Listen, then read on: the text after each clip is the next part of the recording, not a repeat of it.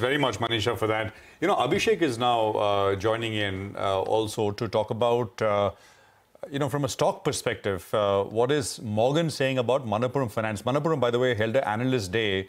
Abhishek, uh, before what, uh, you know, detailing what Morgan is saying, what is the implication of gold prices going up for gold financiers? I mean, the connection feeds through through what's called the LTV, right? Go on. Well, yes, as you mentioned, you know, the LTV actually helps in uh, giving higher uh, gold disbursements and that also aids in your AUM growth. And for whichever book you have already made, uh, you know, the LTVs, uh, the cushion with respect to default actually increases. So you have better cushion against the loan and you have more growth per se if at all you are disbursing on a higher gold price. So Morgan Stanley has written on Manappuram Finance, they have an overweight rating target price of about 200 per share.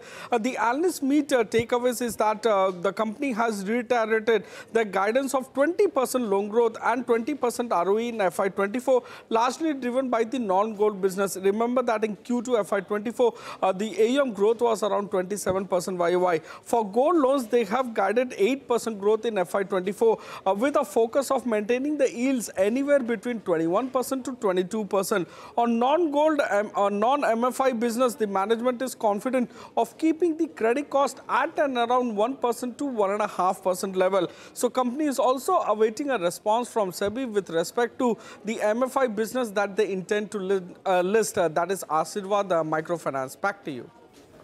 Mm, okay, all right, got that. thank you very much for the details there, Abhishek.